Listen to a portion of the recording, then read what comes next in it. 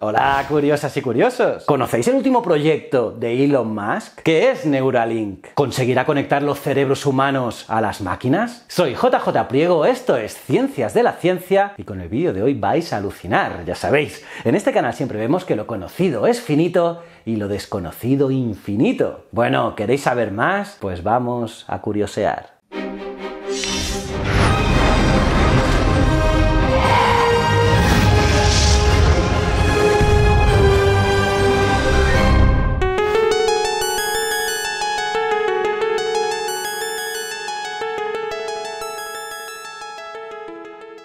Está claro que Elon Musk no deja indiferente a nadie. El multimillonario que hizo su primera fortuna como fundador de la revolucionaria empresa de pagos online PayPal y que desde entonces ha anunciado su intención de revolucionar los automóviles eléctricos, los trenes, los viajes espaciales, los vuelos intercontinentales y la conducción humana, ha anunciado un nuevo proyecto disruptivo. A Elon no solo le basta que SpaceX, su compañía aeroespacial, haya comenzado a trabajar en la infraestructura para mejorar la transmisión de acceso a Internet con sus satélites en órbita alrededor del planeta, o su gran objetivo, que el ser humano pueda llegar a Marte. No, no, Elon Musk no para. Y es que hace unos días Elon Musk anunció otra de sus ambiciones, su próximo objetivo, el cerebro humano. Trabajar para construir una interfaz máquina-cerebro que pretende conectar cerebros humanos con computadoras. Estoy hablando de Neuralink. Así, hace unos días, miles de personas, tanto los fanáticos como los que odian a Elon Musk,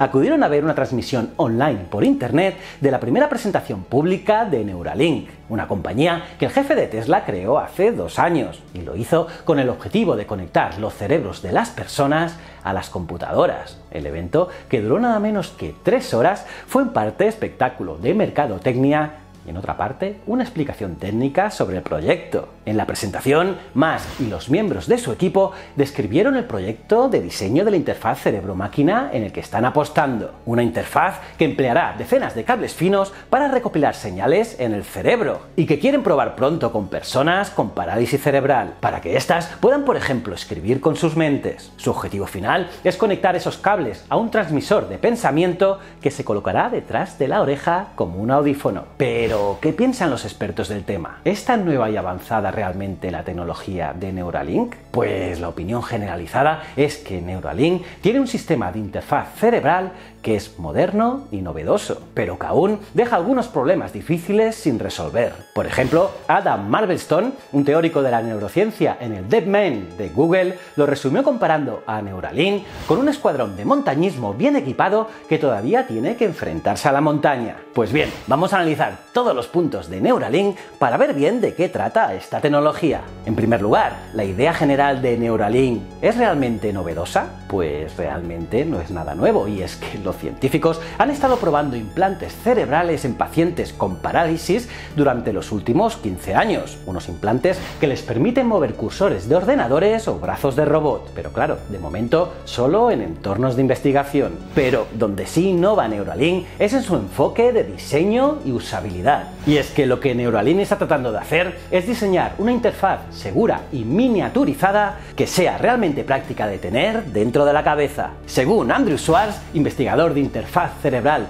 en la Universidad de Pittsburgh, el enfoque de Neuralink es conceptualmente genial, ya que necesitamos sacar el control cerebral del laboratorio y convertirlo en un verdadero producto. Y pensar que Schwartz ha trabajado en el laboratorio con dos personas con parálisis cerebral y les permitió controlar un brazo robótico diestro con sus mentes. Así que este tío sabe de lo que habla. Pero la configuración experimental de Schwartz es muy complicada, ya que incluye un grueso cable que se conecta a las cabezas de los pacientes y que los sujetos no pueden llevárselo a casa. Él dice que Neuralink parece estar trabajando en las preguntas de ingeniería correctas para hacer un implante cerebral más útil. Aunque eso sí, Schwartz también agregó que no sabe cuánto de lo que cuenta Neuralink es real. Pero bueno, ahora hablemos del procesador de Neuralink. Y es que Elon Musk y su equipo nos mostró un microchip dedicado cuyo trabajo es convertir el ruido eléctrico de las neuronas en señales digitales nítidas. El chip solo hace una cosa, para así usar la menor cantidad de energía posible,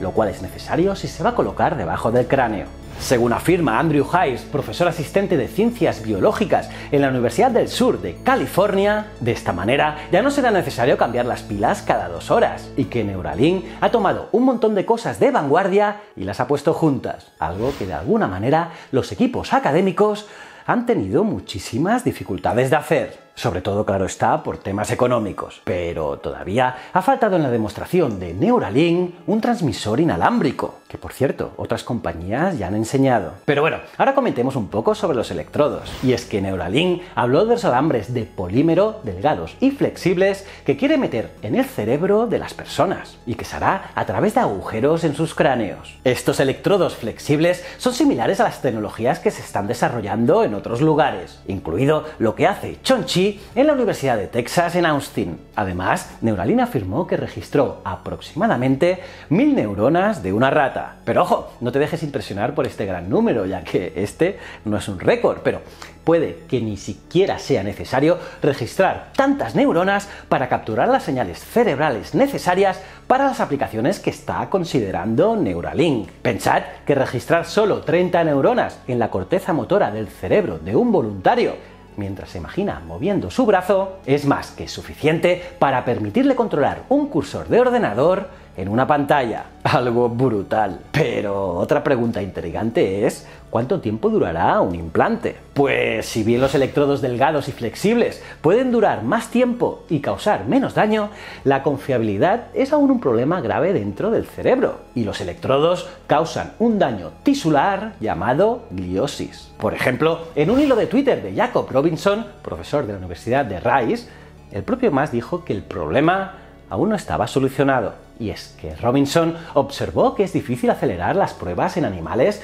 sobre cuánto tiempo se desempeñan los diferentes materiales de electrodos, porque en medicina el tiempo no pasa tan rápido incluso para Elon Musk. Otra cosa que afirmó Neuralink es que dicen que han desarrollado un robot de neurocirugía que inserta automáticamente los finos hilos de los electrodos en el cerebro en ubicaciones precisas, evitando los vasos sanguíneos a una velocidad de 6 por minuto. Respecto a esto, al día siguiente de la presentación, la DARPA, la Agencia de Financiamiento de Defensa de los Estados Unidos, afirmó en Twitter que habían financiado el desarrollo inicial del robot de costura, ese robot que Neuralink presentó como idea propia. DARPA afirmó que estaban entusiasmados de ver el progreso que están haciendo Neuralink con la nueva tecnología de interfaz neuronal, afirmando que el robot que actúa como máquina de coser para colocar electrodos fue desarrollado por la UCSF, la Universidad de San Francisco, líder en la investigación de la salud, y lo hizo con fondos de la DARPA. Y ahora hablemos de neurociencia, y es que esto fue quizás lo más flojo en la presentación de Neuralink, porque pese a todos sus artilugios,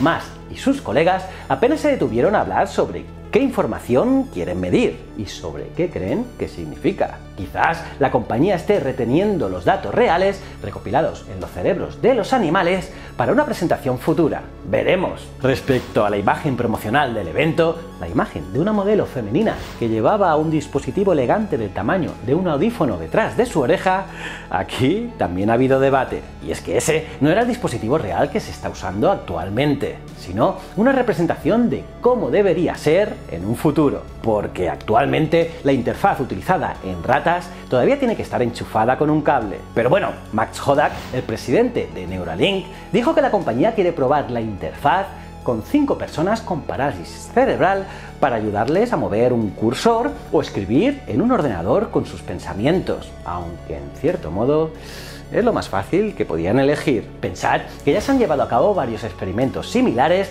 desde la década del 2000, en los cuales las personas han movido robots u operado con computadoras. Pero claro, también hay espacio para mejorar eso, especialmente si Neuralink puede transmitir datos de sensaciones al cerebro, ya que es difícil usar un robot que no puedas sentir, aunque el objetivo principal de Elon Musk es conseguir un producto de consumo. Y aquí está la diferenciación principal, y es que a largo plazo Musk y compañía apuntan a una interfaz cerebral para las masas, y no solo para los enfermos graves. Musk quiere conseguir que eso sea el tipo de cosas que recomendarías a familiares y amigos. Pero claro, esta sigue siendo la parte más nueva, más loca y más controvertida de todo el proyecto Neuralink, ya que es muy difícil imaginar que haya personas que se sometan a una cirugía cerebral si no la necesitan realmente, incluso si el procedimiento es tan simple como lo sugiere Neuralink. Pero bueno, seguramente que los implantes cerebrales personales son una buena idea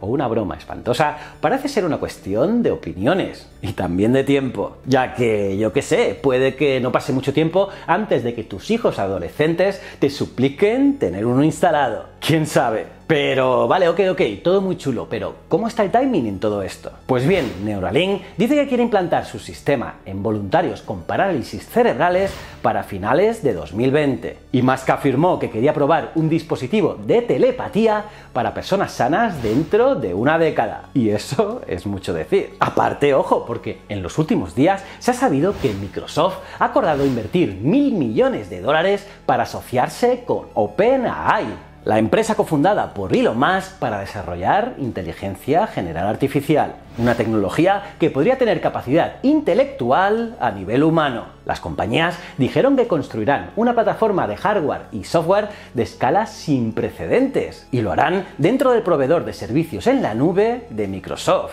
la llamada Azure, que entrenará y ejecutará modelos de inteligencia artificial cada vez más avanzados. Pero bueno, a día de hoy no sabemos si Elon Musk cumplirá con algunas de las dos líneas de tiempo que os he dicho. Pero después de todas estas noticias, está claro que lo intentará. Y es que los fans de Elon ya sabemos cómo actúa. Los timings no son siempre muy fiables, eso está claro, pero también es clarísimo que todo lo que le pasa por la cabeza suele llegar tarde o temprano a buen puerto. El propio Max Hodak, presidente de Neuralink, ha afirmado que cuando tienes a Elon Musk al lado, todo es posible. Según Hodak, Elon es siempre muy, pero que muy optimista, lo que le hace atravesar restricciones imaginarias para hacer lo imposible real, algo muy parecido a lo que le sucedía a Steve Jobs. Además, hay que tener mucho, pero que mucho cuidado de decirle a más que algo es imposible. Por ejemplo, la impresidente de SpaceX, Wayne Shotwell, comentó en una charla TED de 2018 que ha aprendido que la palabra imposible tampoco forma parte del vocabulario de Elon Musk. Shotwell afirmó que, primero de todo, cuando Elon dice algo, tienes que hacer una pausa y no soltar de inmediato la frase, bueno, esto es imposible o no hay forma de que lo hagamos. Así que eso, te lo guardas, lo piensas y encuentras formas para hacerlo. De hecho, en sus 17 años como líder de SpaceX, Shotwell dijo que aprendió que es su papel tomar las grandes visiones de más y hacerlas factibles. Shotwell dice que siempre sentí que mi trabajo consistía en tomar estas ideas y convertirlas en objetivos de la empresa hacerlas alcanzables y hacer que la empresa saliera de esa pendiente empinada. Incluso más, en el discurso de graduación que pronunció en Caltech en 2012, dijo que cuando era joven realmente no sabía qué iba a hacer cuando creciera, pero la gente me seguía preguntando. Eventualmente pensé que la idea de inventar cosas sería realmente genial. La razón por la que pensé en ello era porque leí una cita de Arthur C. Clarke. La cita decía, una tecnología suficientemente avanzada es indistinguible a la magia. Y eso es realmente cierto. Aquí hay muchas cosas que damos por sentado hoy que ni siquiera se imaginaron en tiempos pasados. Así que pensé que si puedo hacer alguna de esas cosas, si puedo hacer avanzar la tecnología, eso es como la magia. Y eso sería brutal. Y como os digo, si bien más es un gran pensador, también es famoso por ser poco realista acerca del tiempo en lograr sus propósitos. Por ejemplo, ha cambiado repetidamente los plazos de producción para sus vehículos Tesla. Y ojo, que el propio Musk está de acuerdo con esta crítica. Y es que Musk dijo a la CBS en el programa 60 Minutos que la puntualidad no era su fuerte. Y eso es real, a veces no llega a tiempo, pero lo que no hay duda es que a día de hoy, al final siempre cumple con lo prometido. ¿Cómo os habéis quedado, curiosas y curiosos? ¿Qué? ¿Habíais oído hablar de Neuralink? Me lo podéis poner en los comentarios. ¿Qué te parece todo esto? Los leo todos. Ah, y aparte de darle like al vídeo, suscribiros y campanita, os recomiendo estos dos vídeos. En uno os hablo de Elon Musk, de la historia de Elon Musk. Y en el otro os hablo de que Elon Musk ha irritado a astrónomos de todo el mundo. Vamos, dos vídeos alucinantes. Y nada, también me podéis seguir en Easy Promos TV e Historias de la Historia. Y recuerda, el conocimiento es un requisito esencial para la supervivencia. Muchísimas gracias.